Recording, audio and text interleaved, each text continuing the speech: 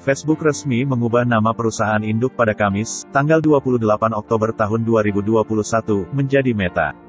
Nama tersebut diumumkan langsung CEO Meta Inc., Mark Zuckerberg secara virtual dengan nama barunya, Meta berambisi untuk merealisasikan sebuah program yang akan mengaburkan batas antara dunia fisik dan dunia digital yang disebut dengan Metaverse.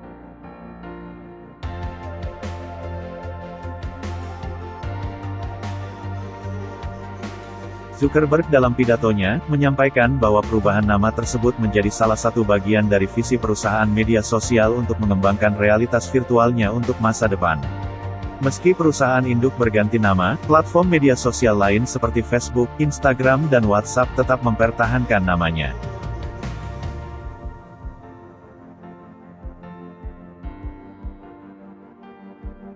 Dengan visi masa depan, pihaknya ingin metaverse akan menjangkau banyak orang.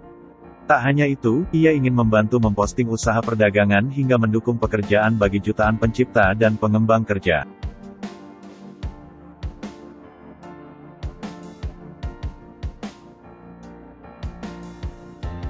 Dalam dekade berikutnya, Metaverse akan menjangkau satu miliar orang, memposting ratusan miliar dolar AS perdagangan digital, dan mendukung pekerjaan bagi jutaan pencipta dan pengembang, kata Zuckerberg. Pihaknya pun disebut telah menyiapkan berbagai terobosan teknologi utama untuk bisa sampai ke metaverse periode berikutnya.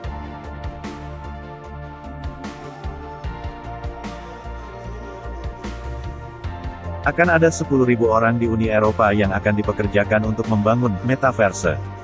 Perubahan besar dilakukan media sosial Facebook dengan cara mengubah nama perusahaan induk secara resmi mulai Kamis, tanggal 28 Oktober tahun 2021.